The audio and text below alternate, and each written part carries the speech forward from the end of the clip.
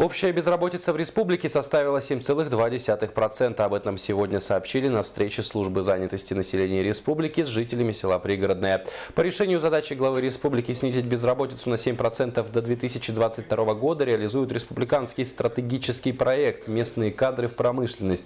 Его цель – вовлечь население в инвестиционные проекты. Пилотные компании, с которыми служба занятости имеет договоренности по трудоустройству населения – это Эльга Уголь, Колмар, Якуту Уголь, Селегда и Алдан Золото. Далее планируется выйти на нефтегазовый комплекс и восточно-экономическую зону.